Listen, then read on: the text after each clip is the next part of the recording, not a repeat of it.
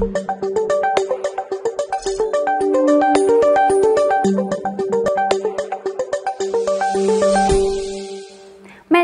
ben Merve Nur Erdem. 1994 doğumluyum.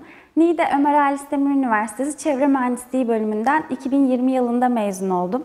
Pandemi dolayısıyla iş bulmakta biraz zorlandım. İş bakarken boyut çevreyi gördüm. Firmamın COSGAP istihdam desteğinden yararlandığını öğrendim. Bu sayede işe başladım. Bu benim COSGAP ile ilk işim. Boyut Çevre ve COSGAP'e teşekkür ederim. Música